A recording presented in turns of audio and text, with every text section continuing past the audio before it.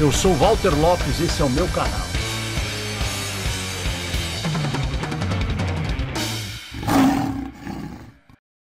Contar mais uma do G3, beleza?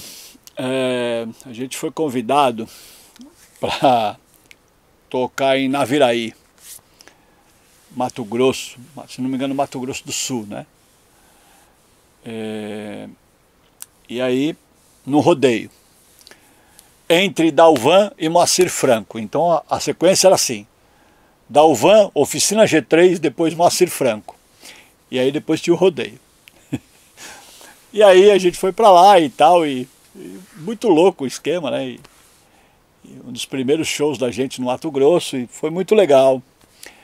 Só que, no meio da parada, é, a gente tocou e depois fomos almoçar na casa de uma irmã e ela fez bobó de galinha.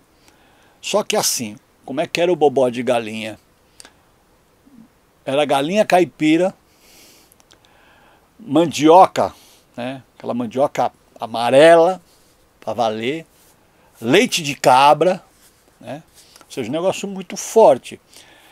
E aí eu lembro que a gente sentou para comer e eu lembro que o Tulhão olhou e falou, nossa, velho, estrogonofe. E a mulher falou, não, esse é bobó. E ele sentou, foi comer e era muito gostoso, mas muito gostoso mesmo. Meu, resumindo, é, comemos, né? Estava morrendo de fome, comemos que nem uns loucos. Beleza.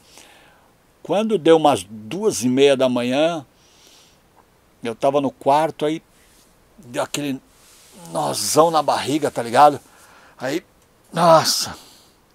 Eu falei, caramba, velho, vou tentar, vou tentar continuar dormindo. Virei do outro lado, hum, não vai dar, vou ter que levantar. Levantei, saí. Quando eu abri a porta para ir no banheiro, já tinha três na fila. Imagina a situação?